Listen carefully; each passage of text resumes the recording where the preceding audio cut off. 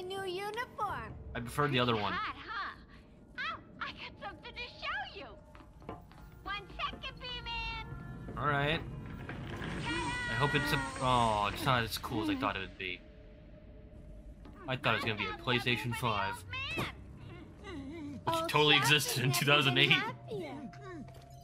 In case you ain't figured it out today, It's the Joker's big homecoming, and you're You have one chance to surrender, Quinn. Tempting, Beth, but no dice. Now the inmates are running the asylum. Well, technically, the Joker's goons shipped in from Blackgate, but you get the idea. Bye-bye for now. That's not how you turn off a camera.